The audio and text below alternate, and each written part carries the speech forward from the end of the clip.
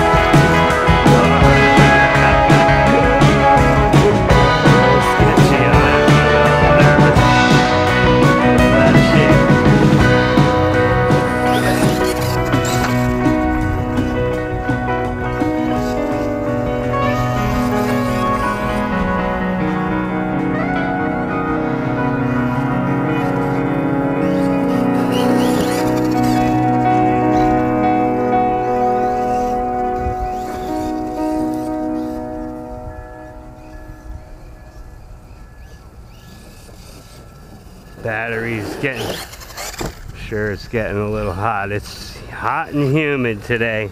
So there it is, running good, the monster truck tires.